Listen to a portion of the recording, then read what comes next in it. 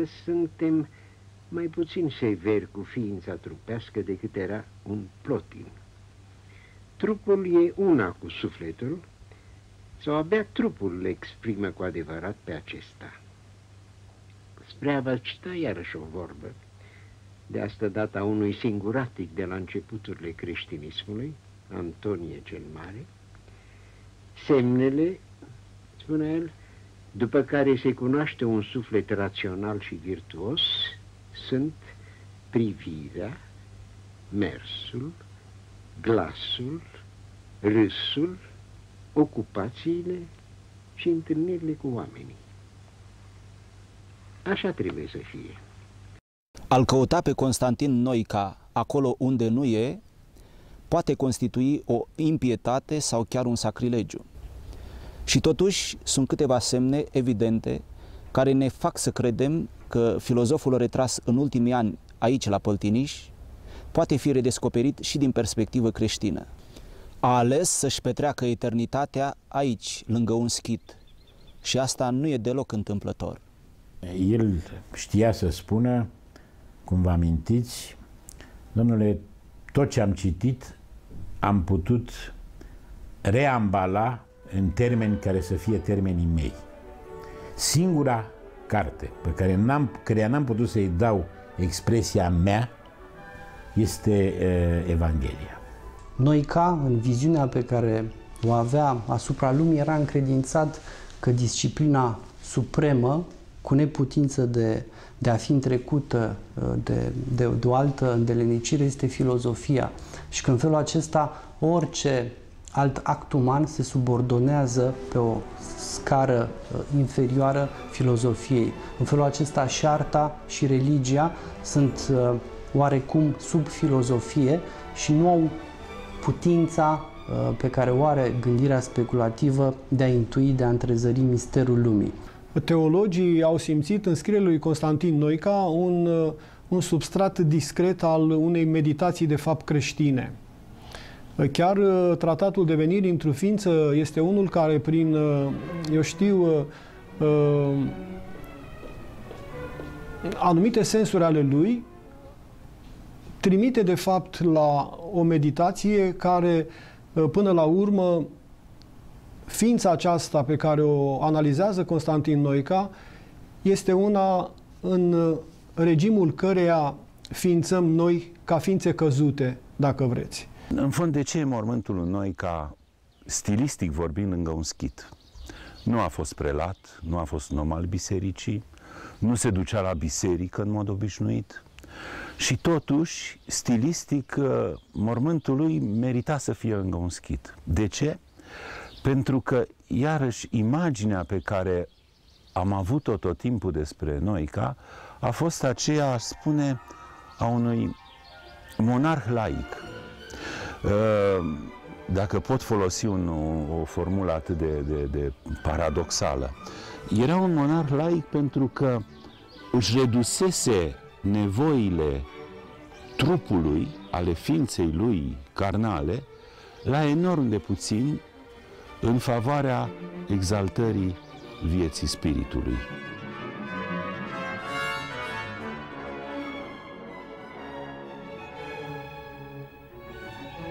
La plimbarea din după amiaza zilei de 15 noiembrie 1978, Constantin Noica i-a întrebat pe trei dintre discipolii aflați împreună cu el la Păltiniș cum merg lecturile istorico-filozofice pe care aceștia le făceau împreună.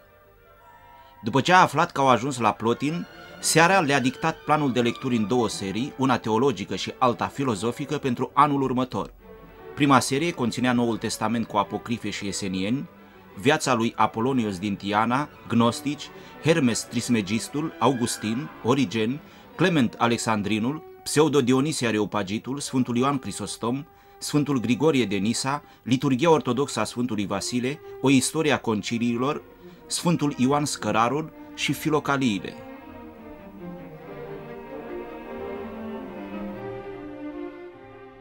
Această potecă a fost străbătută de foarte mulți dintre cei care l-au căutat pe Constantin Noica. Dintre fiii săi spirituali, poate Andrei Pleșu este cel care s-a apropiat cel mai mult de ființa creștină a filozofului eu având o orientare fie și strict intelectuală uneori, din păcate, către acest domeniu, îl, îl provocam, îl asaltam cu întrebări, cu, cu o anumită tematică. Unele din episoadele astea sunt povestite și în jurnalul de la Păltiniș. Poate să vă spun că la Păltiniș, într-o perioadă când am stat acolo mai mult, fiindcă nu mai aveam slujbă, mi-a propus să facem seri de lectură și comentariu la primele cărți din Vechiul Testament. Prin urmare, ăsta era un fel, pe linia generozității lui, de a mă pune în situația să mă ocup de ceva care știa că mă interesează, dar era în același timp un fel de a intra în dialog. Cu domnul Noica n-am făcut numai seminarii Hegel și Platon, am făcut iată și un seminar despre, despre primele cărți ale Vechiului Testament și mai ales despre numeri și despre Levitic. Cărți mai puțin frecventate, cărți care au un aspect mai puțin spectaculos, să zicem, în plan speculativ decât Geneza, Exodul. Și trebuie să spun că vorbea ca cineva pentru care asta era trecut în inventarul lecturilor esențiale, cineva care știa lucrurile și care era bucuros să intre într-o comunicare de acest tip. Trezirea creștină a lui Constantin Noica s-a realizat încă din adolescență, din perioada în care a cochetat cu poezia. Sunt, Doamne, înstrunare funerară, e încordată în mine chinuri și jivine cu glas sonor de trup și de ocară. E un fel, o, o mică spovedanie, de fapt, a lui Constantin Noica, care merită aproape citită în, în întregime, o spovedanie în care aduce cu o evlavie reținută, dacă vreți, și aproape că am spus, e un text care seamănă puțin cu pregătirea ușor silnică a unui preot pentru hirotonisire, cu o blândă tânguire în care, după cum spune în continuare Constantin Noica, după ce și-a îngropat trecutul ca un mort, credința nouă devine, citesc din nou, o groapă largă și îndurerată și adâncă, albă, ca un strai de port și vie ca o haină de ispită. Căutarea lui Dumnezeu se face acum, de fapt, de un Constantin Noica păgân. Uh, dar brațul meu nu te-a îmbrățișat, spune la un moment dat versul ca atare. Uh, dar totodată căutarea aceasta este și o abia sesizată sau abia posibilă robie divină la care aspiră discret, dacă vreți, tânărul Noica, pentru că spune un mugur îți surâde alb, stăpâne. Și în continuare și exprimă în poezie o căutare care parcă l-a istovit puțin și îndelung așteptată. Te caut cu brațe de agat, nostalgic și crucificat deschise. Te-am căutat în veacuri și în stâncă. Este aici, pentru Constantin Noica, speranța aproape a unei viitoare revelații. Aproape crezi că tânărul de 19 ani, cât avea, 19-20 de ani, speră că odată odată va fi față către față cu, cu ființa lui Dumnezeu. În perioada dintre cele două războaie mondiale, Constantin Noica a traversat mai multe avataruri ale ființei sale creștine. Frământările tânărului Constantin Noica se vor concentra student fiind și după terminarea Facultății de Litere și Filozofie asupra relației dintre ins și istorie. Trebuie spus aici că influența pe care a avut-o asupra lui Nai Ionescu nu poate să fie subestimată.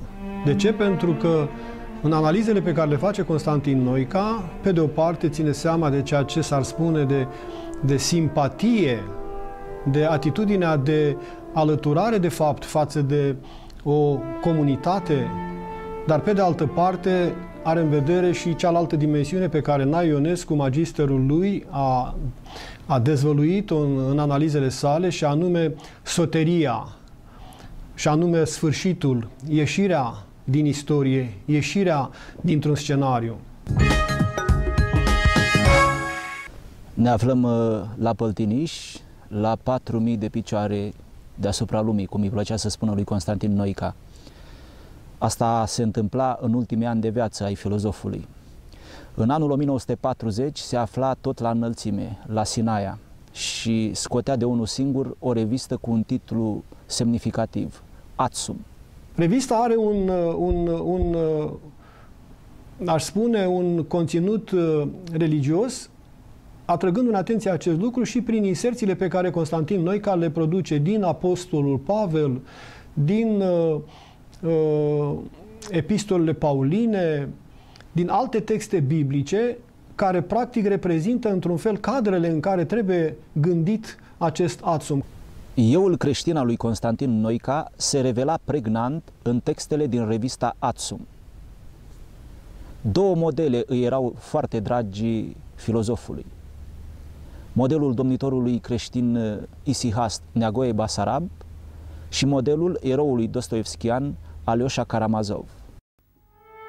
Că mai întâi de toate este tăcerea, iar tăcerea face oprire, oprirea umilință și plângere, iar plângerea face frică și frica face smerenie – Smerenia face socoteală la cele ce vor să fie, iar acea socoteală face dragoste și dragostea face ca sufletele să vorbească cu îngerii.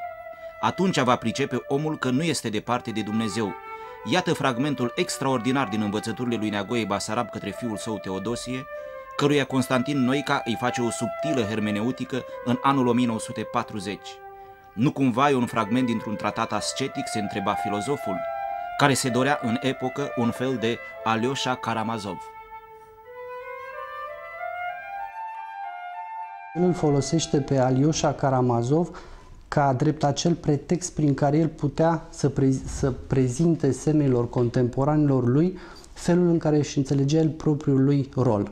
Și așa cum Alyosha din uh, uh, romanul lui Dostoevski este nevinovatul prin excelență, inocentul care n-a păcătuit niciodată, dar care simte că nu poate să contribuie la mântuirea semenilor lui decât luând asupra lui păcatele celorlalți, tot la fel Noica simte că, deși era inocent, era nevinovat, n-avea niciun motiv să se regimenteze și să intre într-un joc de pe urma căruia nu avea decât de pierdut, Totuși el face pasul acesta și exact ca un nevinovat, ca un miel inocent, intră în bătălie, ia într-un fel păcatele asupra lui, trăind tot timpul cu această, cu această credință nebunească că numai în felul acesta comunitatea contemporanilor lui putea fi mântuită prin sacrificiul lui. Iar aceasta a fost credința uh, întregii lui generații toți cei care au intrat în mișcarea legionară au gândit în felul acesta. Numai așa se poate înțelege ușurința cu care ei s-au uh, sacrificat. În delirul istoriei anului 1940, când oamenii nu voiau să se înțeleagă și să se împace cu veacul lor, Constantin Noica se implica în politică și scria 19 articole la oficiosul legionar Buna Vestire. Filozoful practica eticul cu virtuozitate și se impurifica dintr-un exces de puritate. Numai că se confesa peste ani unui discipol, grozăvia care trebuie înțeleasă este că în perioadele de criză ale istoriei, politicul trece prin sânge.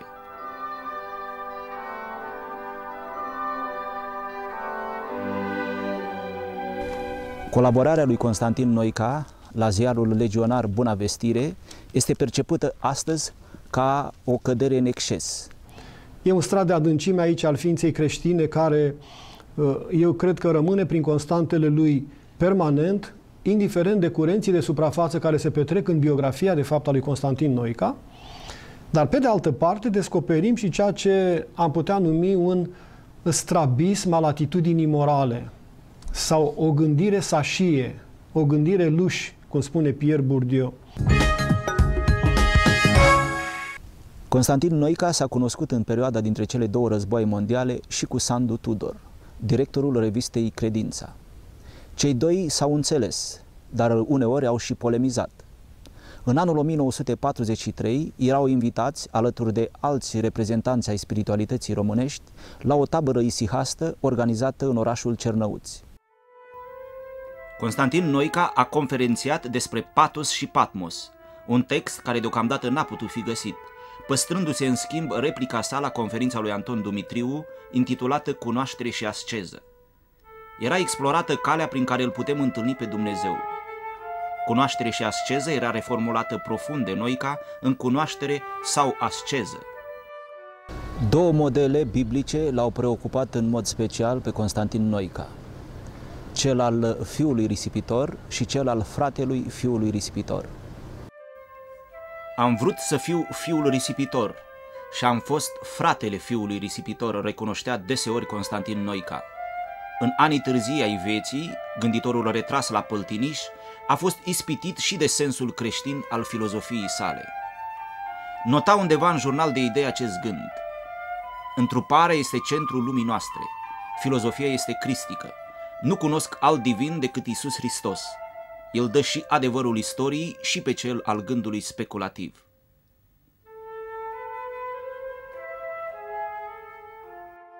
Domnul Ica spunea frecvent că istoria filozofiei europene e de negândit fără câteva concepte furnizate de teologie. Printre care distinția între homoousia și homoiusia, problema asemănării în general și, mai spunea el, am crezut multă vreme că se poate ajunge la filozofie pornind de, de la științele naturii, matematică, fizică, astrofizică, nu știu ce, mi-am dat seama că nu se poate. E bine să le știi, dar gândiți-vă ce filozofie a produs în fond. Heisenberg, Einstein, mari, mari gânditori în materie de științe naturale ale veacului. Ce mare filozofie au produs? Au produs unele reflexii, unele interesante pe marginea descoperirilor științei. Dar nu se poate ajunge la filozofie pornind așa. Se poate ajunge la filozofie pornind de la teologie. Prin urmare, deschiderea lui către zona asta nu era arbitrară, nu era frugală, era una de substanță, însă nu era, n-a trecut niciodată într-un discurs articulat. Spunea de asemenea ceea ce mă crispează când e vorba de texte teologice este că riscă să devină exacte. În fond, spunea el, aici e vorba de the very big animal, de dihania supremă. Nu poți să pierzi timpul numărându-i degetele, spunând cum îi sunt unghiile, cum nu știu ce. Prin urmare, era, ca să zic așa, un apofatism în el, care îi interzicea să devină descriptiv, speculativ în legătură cu dihania supremă. Filozofia, spune el, se ocupă cu e, dihanii e, e, mai joase. Nu are curajul, nu are anvergura și poate nu există o motivație reală ca să ajungi să reflectezi la uh, the very big animal. Fiul lui Constantin Noica, Răzvan Noica, a părăsit la sfârșitul anului întâi cursurile Facultății de Teologie din Paris și a devenit călugăr ortodox sub numele de Rafael la o mănăstire din Anglia. În prezent trăiește retras și discret la Lăzești în munții Apuseni și traduce din opera părintelui său spiritual, călugărul rus Sofronie. Dialogul lui cu fiul lui e, trebuie să fi însemnat ceva. Mi-aduc aminte că e, l-am vizitat odată, era înaintea primei lui plecări în străinătate, unde vrea să-și vadă după 25 de ani familia, fata, băiatul și fosta nevastă. Și l-am găsit citind Filocalia. Și am fost destul de mirat. I-a spus, domnule, că dar cum de citiți Filocalia? Și răspunsul ei a fost candid într-un fel. Mi-a spus, dacă mă văd cu Rafael, care e călugăr, și trebuie să am o temă de discuție cu el și e, senzația era că el parcurge o bibliografie ca să nu cadă conversația când se întâlnește cu fiul lui după atâta amar de vreme. Cred că noi ca mai curând a avut nevoie de fi spirituali decât de acest fiu biologic, Răzvan devenit ulterior călugărul Rafael. Și cred că cu riscul de a, de a rosti o, o indelicatețe, o impolitețe sau o blasfemie, mult mai apropiați uh, pe linia unei filiații uh, propriu-zise, uh, sunt discipolii lui, adevărații lui fi spirituali decât uh, uh, Rafael Noica. Era încântat de evoluția fiului lui. N-avea decât o singură obiecțiune care ținea de, de, propriul, lui, de, de, de propriul lui concept de reușită intelectuală. Spunea, îmi pare rău că nu l-am convins să facă o facultate de teologie, adică să adauge experienței duhovnicești și cultura domeniului. Dar fiul meu mi-a răspuns, ne povestea el, că dacă simte că dacă ar face o facultate și-ar pierde credința. Părintele Rafael a făcut cea mai bună precizare, întrebându-l cineva ce legătură este între uh, părintele Rafael, între dânsul și tatăl său, a făcut următoarea asemănare, care cred că e o apoptecmă foarte nimerită. Zice, eu cu tata suntem cam doi oameni ce ne deplasăm uh, pe marginile unui râu. Tata pe o parte, eu pe cealaltă parte. Dar la capătul drumului ne întâlnim. Maladia spiritului în care s-a încadrat Constantin Noica este ahoretia. Fiul său, Răzvan, devenit monahul Rafael, este un anahoret. Care este diferența între un ahoret și un anahoret? În măsura în care ahoretia o înțelegem ca o absență a determinațiilor, atunci anahoretia, dacă e să o gândim etimologic, înseamnă mai curând acea stare aflată deasupra determinațiilor. Deci ahoretia, acel A din față este un alfa privativ, el presupune lipsa, absența determinațiilor, în schimb anahoretia, la fel ca în anastasia, înseamnă o stare aflată undeva deasupra uh, unor determinații pe care încă nu ți le-ai dat. Deci, anahoretia ar fi, de pildă, starea privilegiată a îngerilor. Se poate spune cu certitudine că filozoful Constantin Noica a așteptat cu seninătate clipa întâlnirii cu Dumnezeu.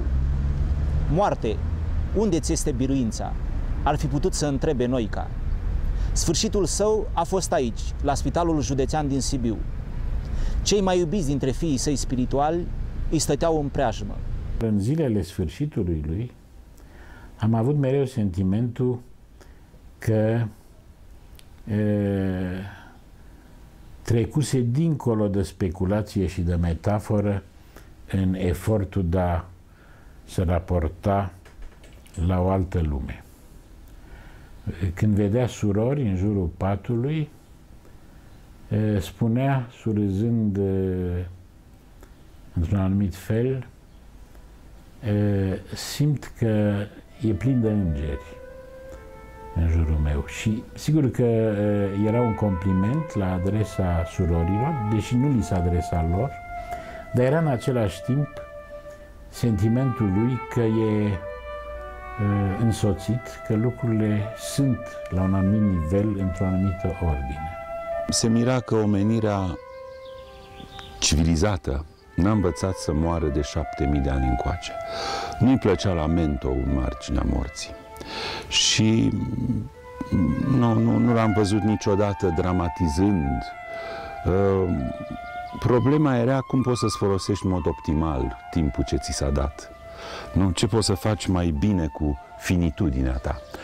Pe de altă parte, spunea că moartea este importantă numai pentru prinții acestei lumi, care își simt în ea limita puterilor și că este binecuvântată din punctul ăsta de vedere, pentru că al minter n-am fi putut scăpa de mari tiranei lumii.